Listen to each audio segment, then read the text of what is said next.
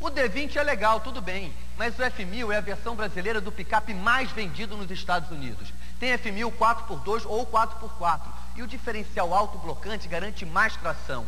O espaço para carga é 20% maior. A suspensão Twin I-Beam aguenta o tranco e deixa o F1000 mais seguro e confortável. E nem por isso ele custa mais. Valeu?